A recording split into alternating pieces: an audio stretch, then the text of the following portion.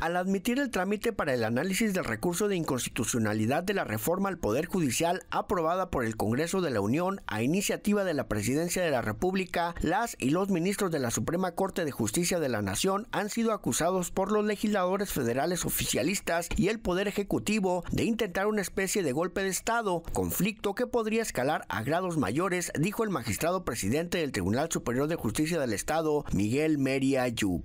Se invalidaría completamente todo toda, esa reforma. Pero de ahí me parece que se abriría, más que se abriría un conflicto constitucional, un conflicto político en el país.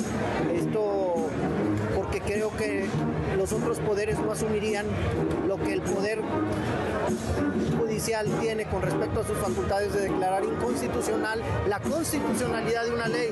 Entonces es todo un tema así, pero efectivamente sería mejor Sería como un golpe de Estado o algo así. No, eso nos, va a meter en un conflicto tremendo de, al país y a los poderes. Expresó María Yub que esa es una de las lecturas que se le puede dar a esta situación de que es un enfrentamiento entre los poderes legislativo y ejecutivo contra el judicial, pero que también puede ser una oportunidad única para entrar en cordura y llegar a acuerdos mutuos en vez de enfrascarse en un conflicto político que desestabilizaría la gobernabilidad del país.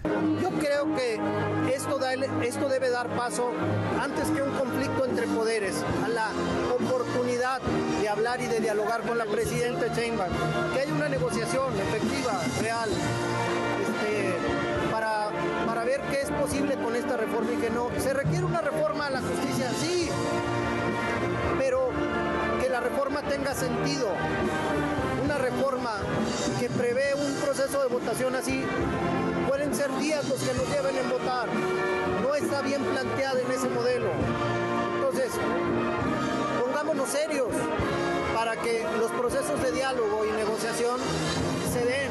Claro que necesitamos un poder judicial más cercano a la gente, un poder moderno, un poder más justo cada día, ¿sí?